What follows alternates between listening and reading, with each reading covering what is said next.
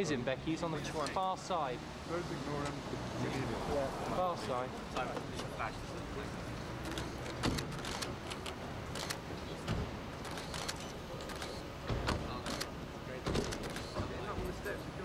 Move the car! Move the car!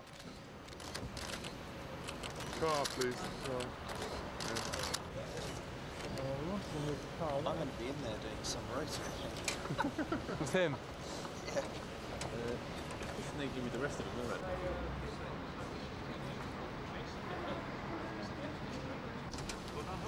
Is this them, everyone? And, uh, and when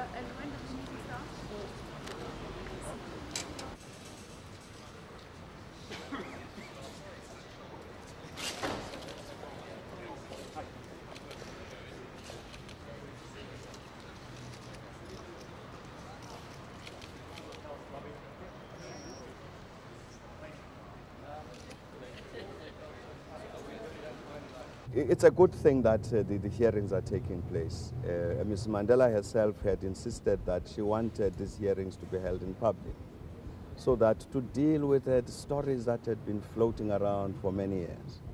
Uh, and I think she was quite right to take that position. And hopefully by the end of this week, uh, this matter would have been sorted out and we pass beyond the stage of uh, allegations and, and suspicion and Roma and all of this uh, to get to the truth of all of these things.